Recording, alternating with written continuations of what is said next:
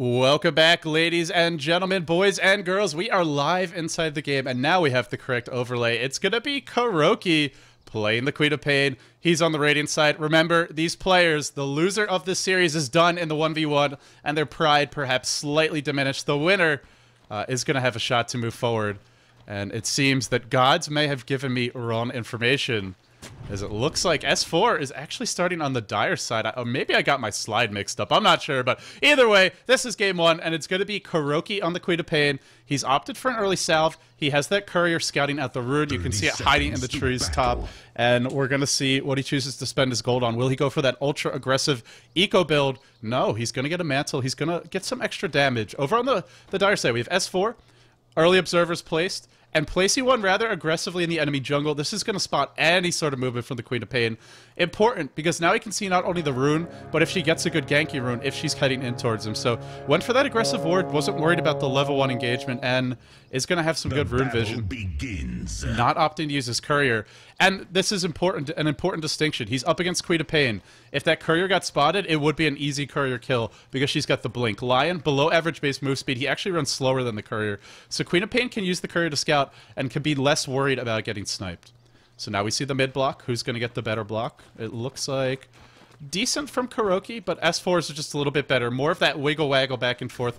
He'll have the high ground advantage. When it comes to trading auto attacks, uh, generally Queen of Pain's got the edge here. She's got the better auto attack damage, especially with the extra stats and, and higher base damage. And of course the Shadow Strike. KuroKy is going for the Shadow Strike build. At least one point. When you're in 1v1, Shadow Strike is really important. The only reason to skip it would be if you're going for... If you're up against, say, a tri-lane on the side side of the map, or uh, you're up against the dual lane where you don't really want to get close. Notice S4 using that Earth Spike not only to get uh, some harassment damage in, but also last hitting as well.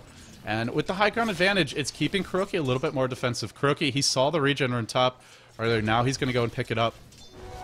Pain but S forced to be happy about this, and he's going for Mana Drain. He's going for uh, just a way to kind of neuter the Queen of Pain. Um, well, I'm, I'm interested to see how many points he goes attack. for. You generally want to get at least one point in Hex to set up your Earth Spike. And even at level 1, Hex is quite good. It gives you nearly a 2 second disable, more than enough time to set up the Earth Spike. Uh, but the early levels of Mana Drain are going to allow you uh, to just harass the Queen of Pain, remove her mana pool. Without that mana, she isn't that scary. And he went for a lot of plus damage. That's going to further delay his bottle. And S4 now forced to back off, but he's starting to move the mana down. KuroKy blinks forward.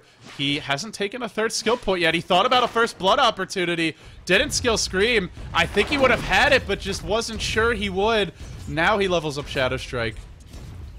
And unfortunate for KuroKy, he had a shot there to first blood, but leveled up the Shadow Strike. He blinks in. Now, just not finding the opening. This might be a huge mistake. KuroKy throws a kill away. Thought he had S4 there. Feeling a little confident, a little overconfident. At an early first blood for Lion for Queen of Pain. This is borderline disaster because Lion is going to hit level 6 before she does unless he makes a mistake and KuroKy. He's even going for Shadow Strike build, which means he can't even outpush the Lion, taking two points in it. Until you hit level 7, your Scream won't be maxed, and that's only if you skip your ultimate.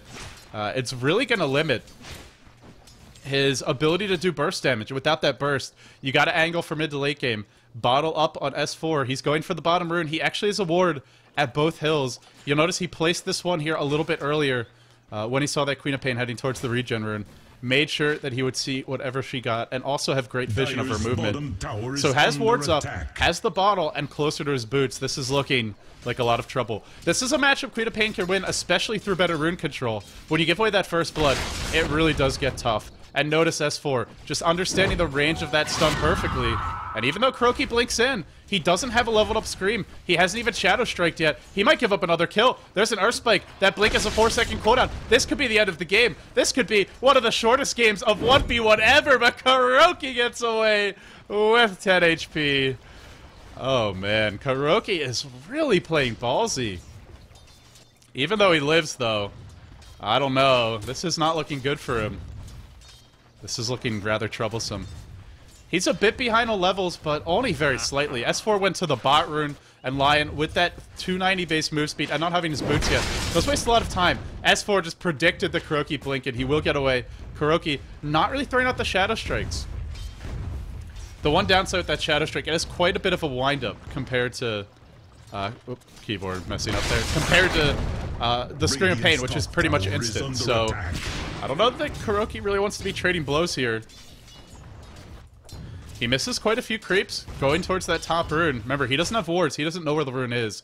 And he's falling behind. That level 6 is coming. A well-timed Hex, uh, a well-timed stun, Finger of Death. That could be it. And the new Finger of Death does 600 damage before reduction. I believe 25% of that is 125, so you're looking at 475 damage plus the Earth Spike, another 200, and that's going to be another 150. Yeah, it's a lot of freaking damage. It's almost the Queen of Pain's entire HP pool. She needs bracers. She wants to go in now. late with the Shadow Strike and uh, still diving. KuroKy might just throw the game here. He knows once S4 gets 6, he's pretty much screwed. But S4's juking. S4 has an Impale. He's going to have a finger in one creep. I don't know if KuroKy realized how close he was. Oh, he, he'll be able to get away with that finger of death being up. We may attack. see this game end with S4 with KuroKy just walking towards S4, getting fingered, and losing the game. That always sounds so wrong. He's actually got a suicide to Roshan. He's got a suicide to Rosh. Free oh, fountain trip for him. Buys the TP, and it's two kills. Suicide to Rosh does not count. The enemy hero has to get the kill. And so the game goes on. A cute little tactic by KuroKy. Reading those rules carefully, I gotta say. Salve comes in for S4. This is still bad for KuroKy, though. He does get that free fountain trip, but still no boots on him. This means that Lion uh, can run into, can run him down basically. And once he gets a single point in Hex, probably at level 8, then he can have that easy, reliable initiation. Normally what you want to do is, oh, maybe just win the game here. No, not quite enough. Every time KuroKy takes any damage, he has to bottle. Otherwise, he'll die to that combo. The combo does take a lot of mana, though. 345. S4 is going to have to make sure he always has enough. The 6-minute rune about to spawn. And KuroKy Hopefully he'll get something good. He's gonna need it. There's your Impale. Just mana burning. S4 just bullying KuroKy, and he's actually keeping up in CS. This is the other downside to going for early points in Shadow Strike. You can out CS your opponent if you're zoning them out of the lane, but if you're not able to trade blows, which he's not right now, he's just going to be driven away, and you know, then then you wish you had Scream of Pain, where you could last hit, where you could push the lane and control it a little better. One thing Lion's bad at is last hitting under his tower. His base damage is quite low. But with this Mana Drain build, he can spam Earth Spike a little more. Now he hits level 7. This is about as big as the burst gets. Until level 11, but if this goes to level 11, KuroKy should have the edge. He can outpush the line. Uh, he can control the runes better. And in a longer-term game, I think KuroKy can win this by pushing. That's just something S4 isn't going to have the edge in. So this is really the point where S4, he wants to find a kill. Maybe we'll even see potentially an early smoke. Just try and catch KuroKy off guard. But most likely, just going to be spamming that Earth Spike, looking to find an opening for that Finger of Death, and then win the game. Remember, once there's a single point in Hex, once there's that one point, he can throw the Earth Spike out even if he misses. If KuroKy blinks in, he'll get Hex. Then by the time the Hex wears off, the Earth Spike will be fairly close to cooling down, depending on how quickly KuroKy blinks in and how quickly he is to run away. So KuroKy's got to be a bit careful about those offensive blinks. Generally, when you're down like this, you save your Blink for defensive play. He hasn't even screamed the creeps, and the issue is, if he walks in range to scream more than one or two creeps, he's in range of an Impale, he's in range of a couple of auto attacks. And if you can auto attack first and then Impale after, you maximize your damage. He's got the wand charge, he's got the ult, but not quite enough. Uh, too much HP on KuroKy. KuroKy's hiding in there. Imagine if he hadn't given up that early kill. This looks it's a matchup that Lion has that big early kill potential, but if you play defensively, it is very hard to get those kills. KuroKy just constantly bottling, going back to Fountain whenever he needs to. And what can Lion do? He has lower move speed than the Queen of Pain once the boots come out. He is sitting back for the moment. He's guessing top. He gets a haste rune. And no wards up for S4. He may want to buy a new set soon. So, S4 in his first match here. How's it looking for him? Looking pretty good so far. CS is quite even. He's controlled the runes reasonably well. Even getting that one rune uh, is, does make a big difference. It's Queen of Pain should really get them all in this matchup, unless she just doesn't want them. Unless she, Lion's going to get the runes, and she just would rather push. Roki strutting towards the bottom rune. Is it the moment to strike? He's just maxi drain. He's not taking any points in Hex. Just wants to make sure KuroKy never has any mana. There's your Shadow Strike, and then the back off. So he's going to win this by purely by attrition. You would never see this in a 5v5 game, but it does seem like a smart adjustment in this 1v1 matchup because Drain just is so you can permanently spam everything. And we're going to see Tranquil Boots next for S4. He doesn't need mana anymore.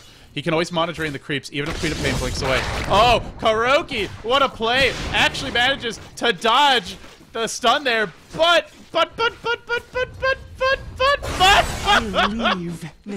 Oh, that's what I was afraid of. There's your GG. This fat number one is going to go the way of S4.